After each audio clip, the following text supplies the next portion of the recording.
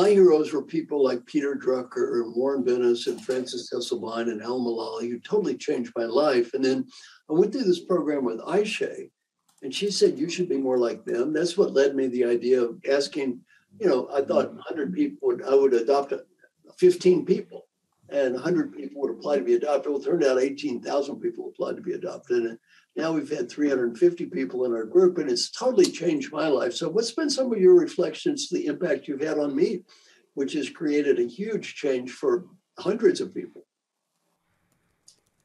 Yeah. And by the way, you have changed my life. So I think it's totally reciprocal. It, and that, that's the beauty of it. I think that, um, that that's true collaboration, you know. Hmm. Absolutely amazing. Well, okay, coming up, is it possible to future proof your future? You could say failing by design instead. Our next guest knows everything about that topic because she coined that very term. Rita McGrath is a best selling author, a sought after speaker, and uh, a long term um, professor at Columbia Business School. She is widely recognized as a premier expert on leading innovation and growth during times of uncertainty. And believe me, there's a lot of uncertainty right now out there. Rita has received the number one achievement award for strategy from the prestigious Thinkers 50. And then I don't have to tell you, she also have an amazing book. In fact, she has several amazing books. Uh, Seeing Around the Corners is one of them, the latest. And Rita, welcome to our show. It's a pleasure to be here. Thank you for inviting me. Oh, you're so sweet. Listen, you are such a, an amazing source of inspiration. And, and I, I need to ask you about one question, which is about the personal inflection points. I certainly tried that when COVID 19 hit. We had to suddenly change this world from our point of view and create our own M&M show, which later on showed to become one of the most successful shows right now on LinkedIn. That forced me out of my comfort zone. I certainly learned something about that. What's your take on this whole way of having an infliction in your life? Well, I think this is also related to the science of imagination, which is our brains get stimulated by something that is unexpected. And very often we frame that in negative terms. So it didn't work out. I didn't get the contract. I lost the job I wanted. But when you really think about it, all that's doing is it's provoking you, right? It's saying your assumptions about the world are not meshing with the world that you're now experiencing. And that can be an enormous point of departure for learning. And this is positive, right? Because some people tend to look at this in a negative light. They basically say, well, listen, this is horrible. Life is after me. You, you look at it differently, right? Everything is positive, and that generates that opportunity, right? It can, um, you know, and I'm not saying there aren't horrible things that happen in the world, so I'm not no, saying that, no. especially now. But um, I think very often in our personal lives, we kind of coast along, and it isn't until we have some kind of personal disruption that we have either the courage or the necessity or the will to do something different. And it can often be a, a springboard to a much richer future. Mm. You know, Marshall? you know, Rita, one of the things that I learned from our friend Alan Mulally relates to what you've said there's a tendency when something happens called an exogenous shock. You know, there's something in the environment or things don't go well to change our goals. Mm-hmm. Change our goals. And Alan says, don't do that. When you do that, you kill creativity. So, you know, he talks about the importance of don't change your goals, but get back with the group and say, all right, now we have a new challenge. Let's just face it as a new challenge. In terms of our personal life, what advice do you have people about the same type of theme about not necessarily giving up and changing your goals, but just looking at it as a new challenge? Yeah, well, I think one of the things that we get wrong as people about goal setting is that we we think about our goals in terms of I want to achieve X or win Y or get Q job, right? So I'll ask a, a, leader in a major firm, say, so what, what's your goal? What, what do you want? Oh, I want to be a you know senior vice president level two, grade Q4, right? And I'm like, well, why do you want to do that? You know, and they'll say, well, because then I can bring on the talent I want and I can help them achieve their goals and I can create this awesome golden open uh, partnership. And I said, well, okay, that's really what you want. One vehicle to getting there is being a senior vice president, EVP, whatever.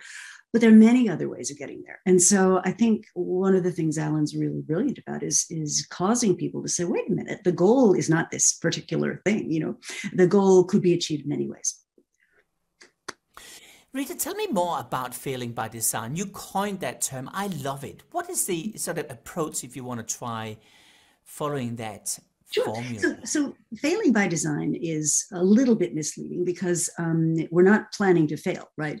What we're saying is there's an approach to something which could be prone to error, which is more intelligent than not. So I talk about intelligent failures. And if you think about it, when you're in a world of high uncertainty, and we're all in a world of high uncertainty right now. I don't care who you are. You don't know what next week's going to hold, let, let alone six months from now.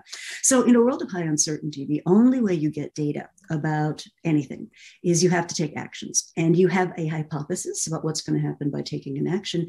And if the action does not lead to the thing that you hypothesize, that's a failure looked at in some ways. But when you think about it, it's like a scientific test, right? You now know that direction's not fruitful, so we'll go a different direction. So, failing by design basically says, let's distinguish between, you know, not so bright failures where you really should have known better. I mean, that's that's not good. We don't want to encourage that. But in a complex, uncertain situation, trying small things and failing and trying something different is the only way you're going to build up enough understanding to know what you should be doing.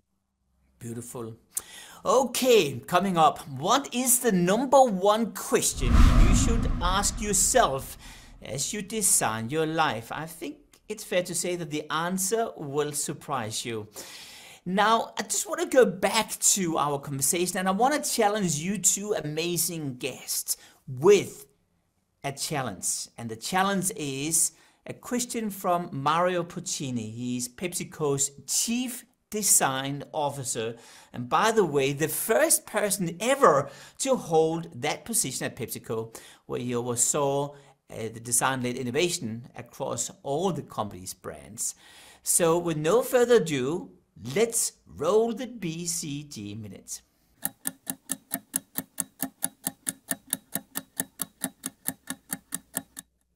Hi, I am Mauro Porcini and I am the SVP and Chief Design Officer of PepsiCo. My question for the M&M panel is this one.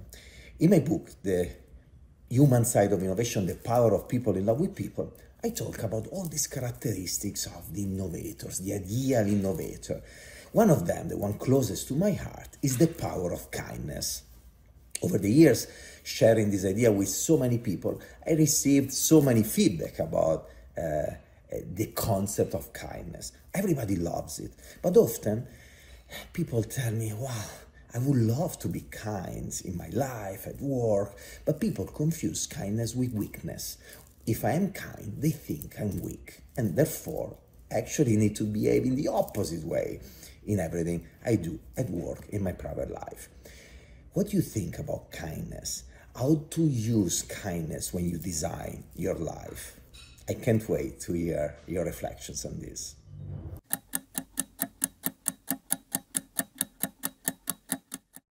There's just something about those Italians. They can just articulate things where you just want to go to Italy straight away, right? Rita, what's your reflection on this?